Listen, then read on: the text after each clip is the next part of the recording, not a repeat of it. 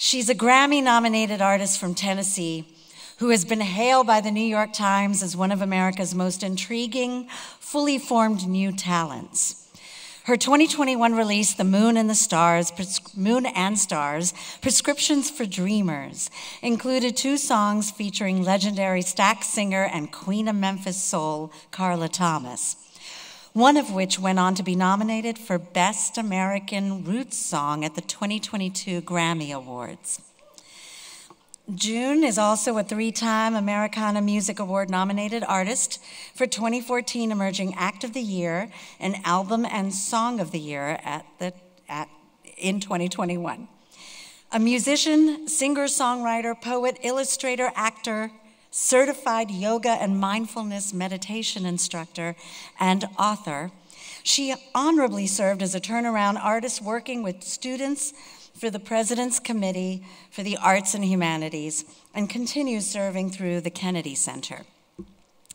Her first book, Maps for the Modern World, was an Amazon number one bestseller in poetry and is a collection of lyrical poems and original illustrations about cultivating community, awareness, and harmony with our surroundings as we move fearlessly towards our dreams.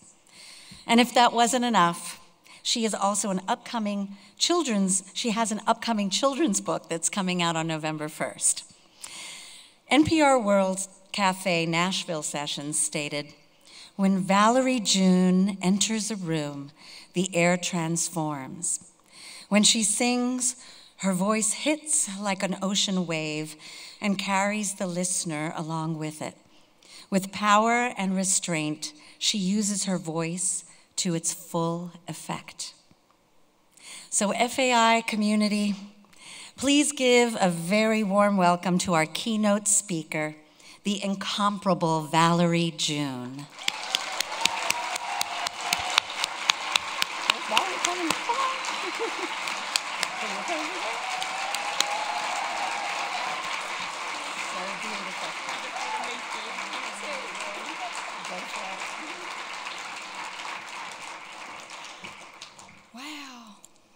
Thank you so much for inviting me to be here.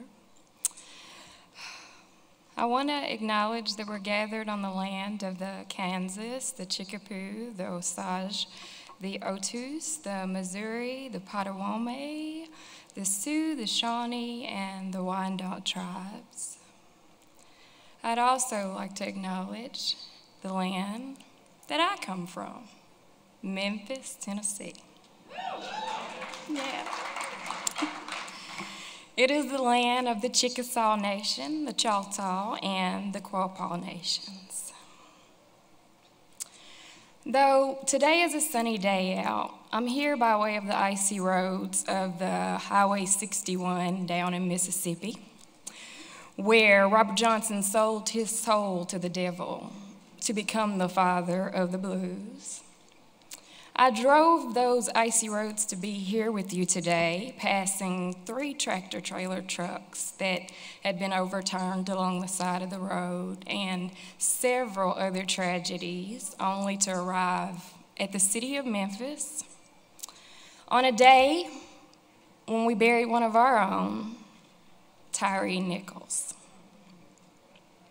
It just being a few days after the celebration every year of the life of Dr. Martin Luther King Jr., who, yes, the land of Memphis is where 55 years ago, on April 4th, 1968, we lost him. He was one of the greatest dreamers this world has ever known, and he was brutally gunned down on the balcony of the Lorraine Motel. That's just a few blocks away from the ancient waters of one of the world's largest mighty rivers. We call it the mighty Mississippi. With its muddy waters so thick, and ancestor spirits as deeply rooted in the current as its fat bottom is, and its body is rich and wide. This is a mighty river. And yes, I'm joining you here in Kansas City, where the Missouri River flows down to St. Louis and meets up with the mighty Mississippi, and together they form one of the Earth's longest river systems. It's the fourth longest river system in the world, and it rolls on down to the Gulf of Mexico. I'm happy to be here with you as a believer. I believe that the water holds power, and I believe that it carries messages to the mouths of every living being on this planet. I am a believer. So, I invite you to join me in dreaming of a new world and believing that the seeds that we plant here together as a folk community this week will reach the hearts of every creature on earth by way of the water. And how will it happen? Water is life, water is breath, water is air, and breath is life and I am a believer. It's truly an honor that the Folk Alliance is contemplating sustainability in our rapidly changing world. And that you've chosen to highlight Memphis, but still, y'all know that you can't even begin to get into the soul of Memphis without addressing many of the challenges and issues we're grappling with today. While the systemic imbalances that we're facing every day seem to keep us all in chains and ties and bound to layers of antiquated practices and policies, the average person hardly has a moment to examine the underlying layers beyond race, beyond gender, beyond beliefs that are rapidly unraveling the world as we know it. While horror stories are featured in the media and told with little care for simultaneously highlighting mindful and empathetic possibilities for solutions, we constantly live on code red with fear based thinking as our first response. We live on stories of fake news, we live on opinions and commentary versus facts. While we, the masses, feel unrepresented and have chosen to pick numbness and chill, thinking that we have no way to implement true change anymore, it is here that we find ourselves facing three of the most significantly challenging issues known in the existence of all of humanity. A global climate crisis the technological hacking of the human mind and body, and the daily threat of nuclear war. Look into the golden rule do unto others as you would have them do unto you. I ask how much of the technological future is influenced by how we treat each other. As algorithms learn our patterns, how do our interactions and our views of others shape how we could be treated in the coming times ourselves? As facial scanners learn to read our minds by examining the expressions on our faces, how would it even be possible for us to have or conceal an opinion that we currently call a democratic right? With our conversations dominated by gender, race, and beliefs, what will these battles mean when we are all made equal by unfortunate circumstances? Currently, we live in a technologically advanced world eager to explore the consciousness, emotions, and thoughts of our minds. The data that's collected can be used humanely for healing or it can be used for harm. We could use it to bring us together or to tear us apart. And there has never been a more critical time in history to examine ourselves and our relationship to those we may not 100% agree with, relate to, or even share the same ideas with.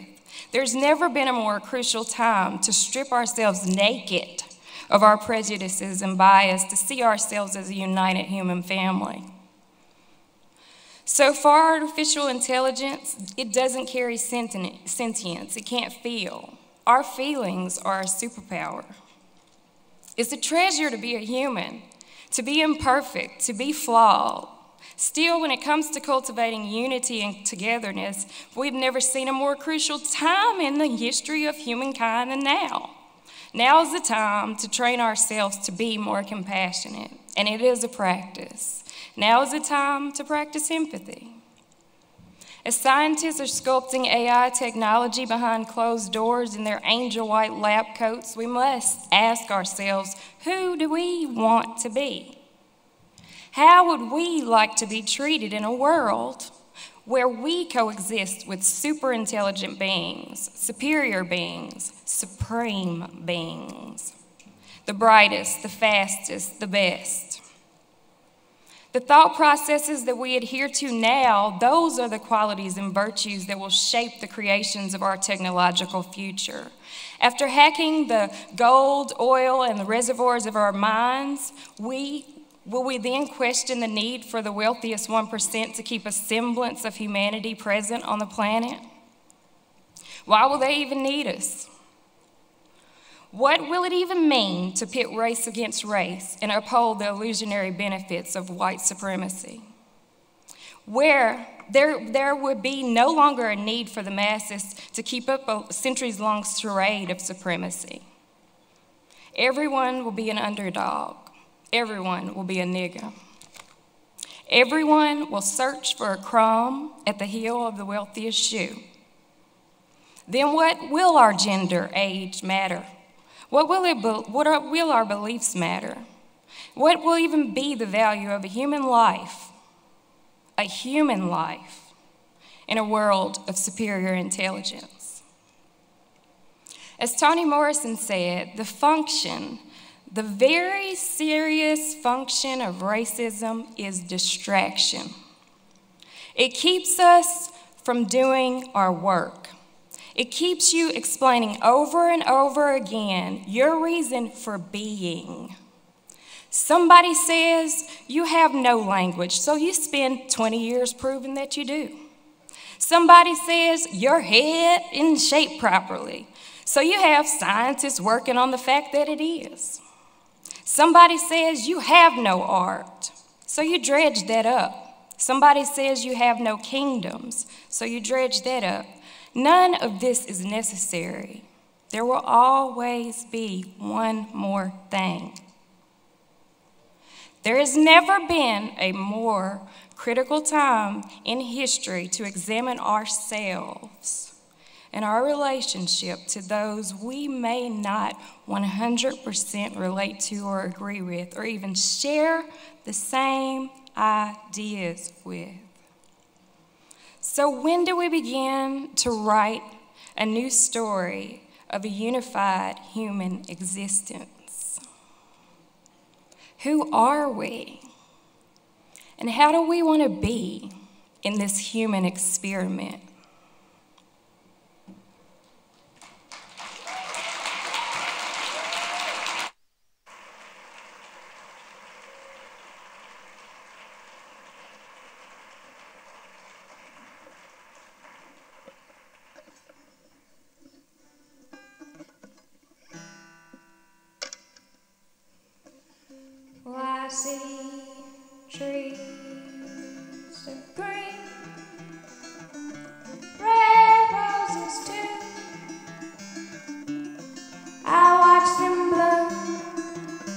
fall.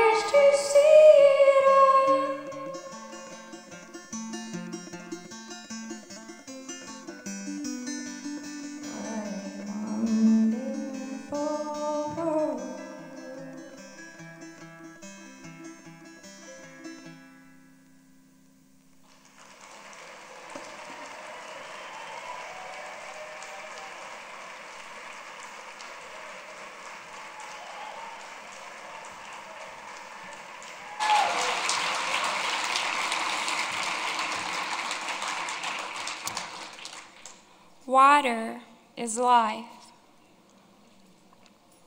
Water is breath.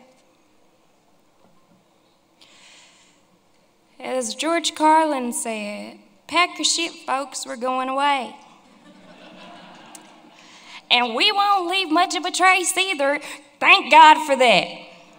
Maybe a little styrofoam, maybe just a little styrofoam. Yeah, the planet, it'll be here, and we'll be long gone. Just another failed mutation, just another closed end biological mistake. An evolutionary cul de sac. The planet will shake us off like a bad case of fleas, a surface nuisance. Hmm. Well, maybe we're fucked.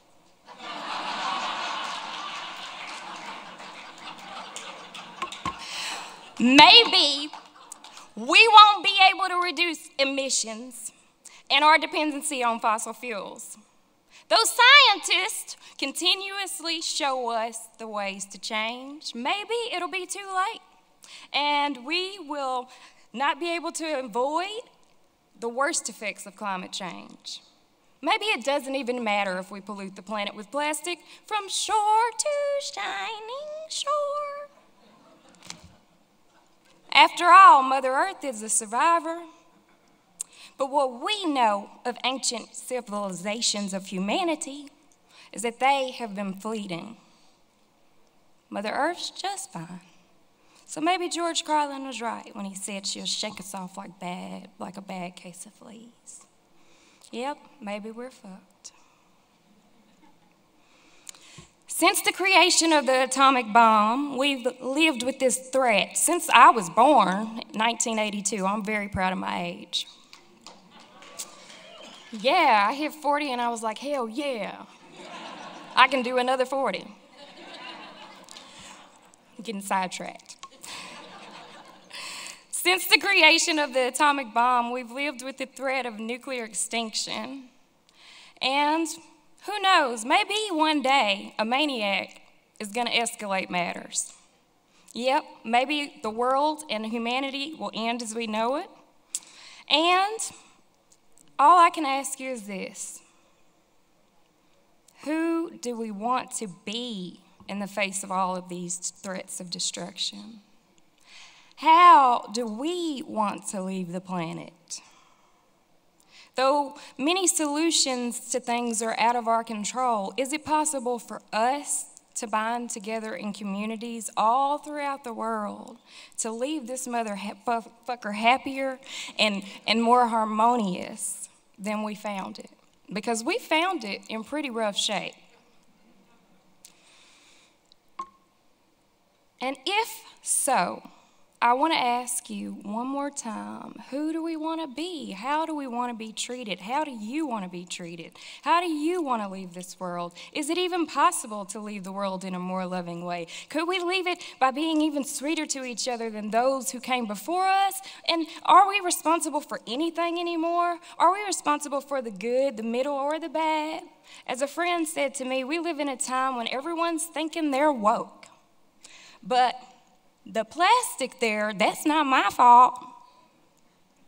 We live in a time where the atrocities of the past, from, from the brutalities of colonization to slavery, yeah, that happened. We can acknowledge that now, thank God. But that wasn't me either, that was them. And we live in a time where the injustices of the present, from the confinement of living in a patriarchal society to the strain of holding up white supremacy, exist. But that's not my fault. I'm not guilty. I dare say that I take full responsibility for all of that. Me, my little self. And what happens if we all do?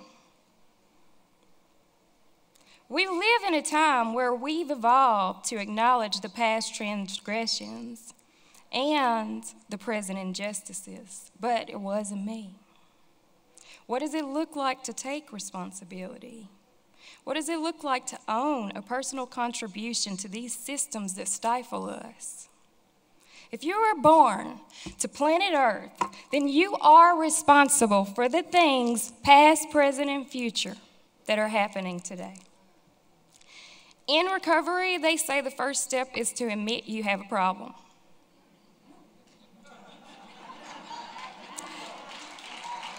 It's beautiful to see all of us awakening to that admission of responsibility, but we just need to speed it up. As the Buddhist monk Thich Nhat Hanh said, my actions are my only true belongings. My actions are my only true belongings. I have a lot of shit, y'all. I got like clothes, I got closets and instruments and books and but my actions are my only true belongings. By keeping us on code red and keeping us living in fear, we seek to constantly be aware of the next tragedy. That's what we've been trained for and it's a distraction. We live in a time when the wellness and meditation has become a $4.5 trillion industry. And many of us are still seeking a deeper spiritual solution to sustainable changes. From using crystals to magic potions to yoga to meditations, all things I do every day. We're spending billions of dollars because we're hungry for true wellness. But wellness cannot be purchased at our local health food stores. Wellness and mindfulness are actions. This is how we relate to one another when we go to the grocery store. How do we treat the people that are around us? This is how we relate to one another when we're in the long line at the coffee shop and I'm like, I need it. Get out of the way. This is how we relate to each other when we sit impatiently in traffic and it's like, if you don't get your ass in front of me. You know what I'm saying? And so I ask you, isn't it amazing to share this gorgeous planet with people from so many different cultures, with so many different beliefs and backgrounds and races? And how amazing is it that every race and culture on the planet comes to us bearing unique gifts? It's just so special. It's just like every person carries a gift that can bless other people. Every person, every being born has a gift. It's just a matter of do they know? And what is it? And when do they want to share it? And how? And will they have the courage and bravery and strength and support to? Just like every person carries that special gift, every nation and every culture also collectively bears gifts and blessings the African American culture, the Native American culture, the American culture, the European culture, they're blessings. And if we think of the relationship with nature that indigenous tribes have, they teach us how to respect the land. from creative things that they've made, like handicraft ceramics and woven cool fabrics. Every culture has a gift that makes our lives more beautiful. And without easily opening the gates to experience the gifts of all cultures, Earth is out of balance. We need all, every, and any positive light to fucking shine and shine now.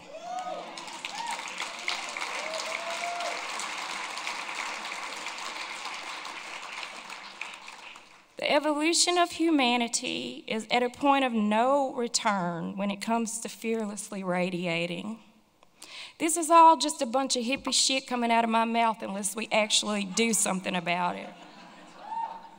So, how do we begin to claim a new story and reshape the narrative and write a new narrative?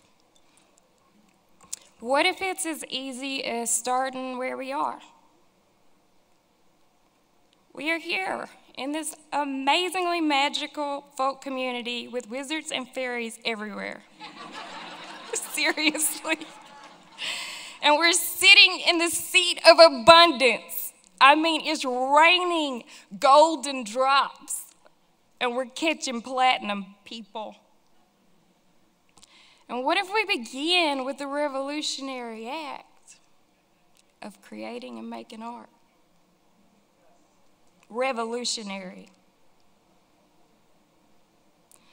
What if we began by calling forth calling into being, cause I wish to see it. Oh, I think to myself.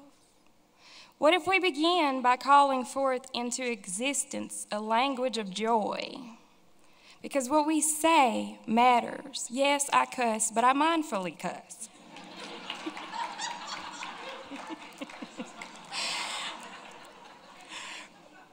What we say matters, and if we're using a language of joy versus a language that elevates fears, then will that allow other hearts to open and be motivated and moved and inspired by this new story we're telling just by being in a folk community? And what if that community is multiplied by another community and another community and another community? I don't know. I might be saying, fuck what Washington's doing because we got it going on down here, little people. But I don't know, I might say we need to get in there and change policy too. Sidetracked once more. Both the historian Yuval Noah Harari and one of my favorite philosophers, Joseph Campbell, they both speak about the power of stories and myths. Whenever I talk about dreams and stories, people think I'm talking about like something soft. Like a dream isn't tough and hard. They think it's just soft like a cloud or a cotton ball, this dream.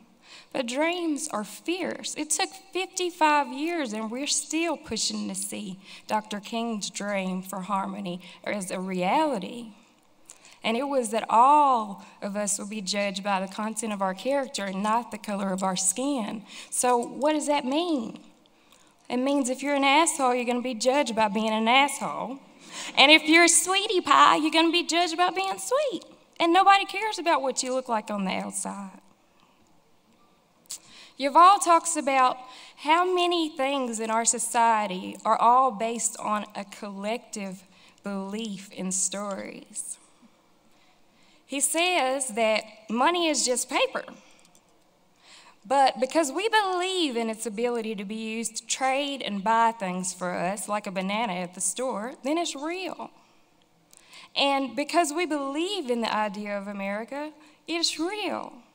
And be, because we collectively believe in democracy, it's real. These are not things we can go to the store and get or hold or touch. They're fictional in some fantasy vault somewhere in the ether, God knows where but they're real and they shape people's lives. All of these fictional stories that we have collectively dreamed up and willed into manifestation, collectively. It's one thing to be a dreamer out here on these streets trying to hustle and play music. It's another one when like minds come together and collectively dream for something powerful, beautiful, and revolutionary through art.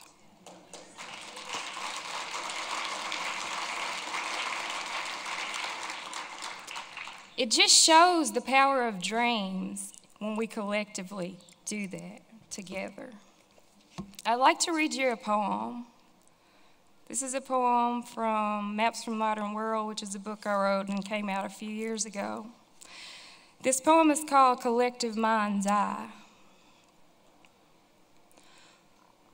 We rose to shores that felt like sinking sands, harvested seeds from brittle, barren land. We had no words when they said, Take a stand. Our voices lost hoarse sore, placed no demands. We scattered seeds in fields that can't be seen, because we know with daily watering will come a flower rich winter to spring. Collective mind's eye creates everything. Our actions kept us steady on the grind. We could have spoken, but that would have taken too much time. We're ever forward, shaping a new earth. Our moments numbered, each breath equals worth. They had them tied up all watching the news. They had them giving up all their rights to choose. They had them and they didn't even know the wheel of life breeds life and onward flow.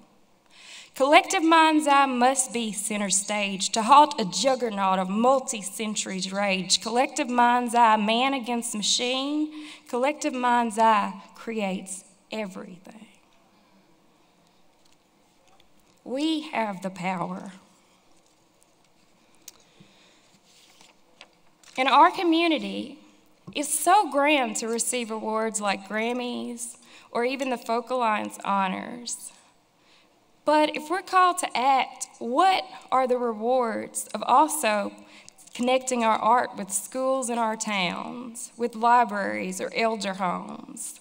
What is it like to connect our art when it comes to being in nature in our community and supporting other, other communities and different organizations? When we're working in this way, our life and our artwork lives beyond us. It's working when we're not there. When we truly see and respect the role of women in society, then we've started on the road toward equality. When we can adorn our transgender and LGBTQIA community with flowers of love and affection, then we can begin to traverse and go down all of these awesome powers of paths of healing. When we can look to the people of color as equals by writing laws and policies that uphold that eliminate systemic oppression, then we are no longer living in fear. We're no longer afraid of sharing the power and the knowledge that we have to move and to stimulate the masses. We refuse to be dumbed down with the academic epidemic of dope, dope sickness. I believe that we have this power. I want to ask you one more time who are you? And who do you want to be? Well, I'm a believer. I'm a dreamer. And yeah, I know it sounds soft and fluffy like a cotton ball. But everything this human made was once just somebody's dream. So, won't you join me in dreaming a more loving world?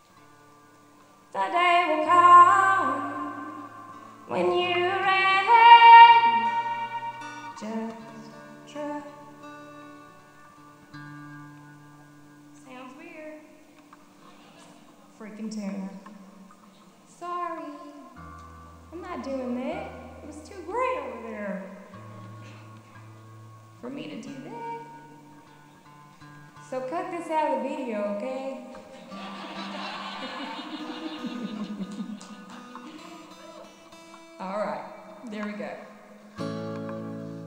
Well, he's there.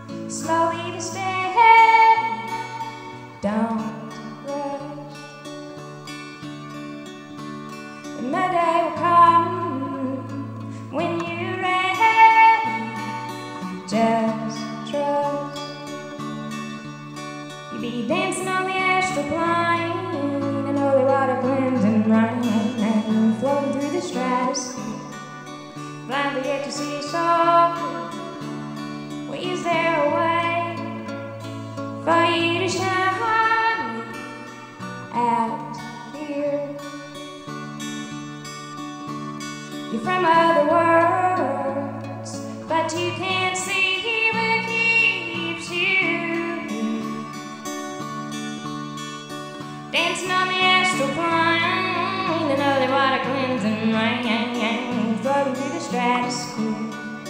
Blind but yet to see so clear. Dancing on the astral plane, the holy water cleansing rain, floating through the stratosphere. Blind but yet to see so clear. Blind but yet to see. Blind but yet to see. Blind but yet to see. Yeah. to see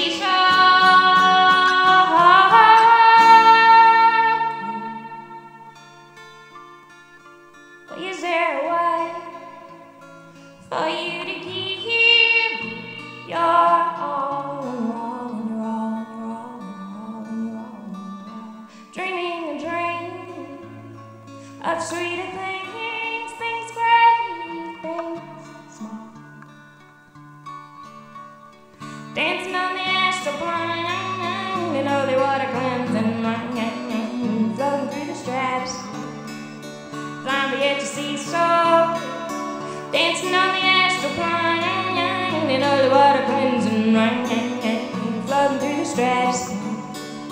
Blind, but yet to see so.